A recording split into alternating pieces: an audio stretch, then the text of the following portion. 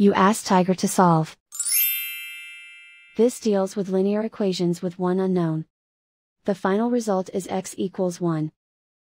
Let's solve it step by step. Group all x terms on the left side of the equation. Subtract 8x from both sides. Group like terms. Simplify the arithmetic. Group like terms. Simplify the arithmetic. Group all constants on the right side of the equation. Add 2 to both sides.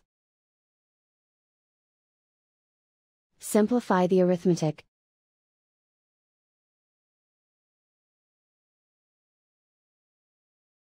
Isolate the x. Divide both sides by negative 6. Cancel out the negatives.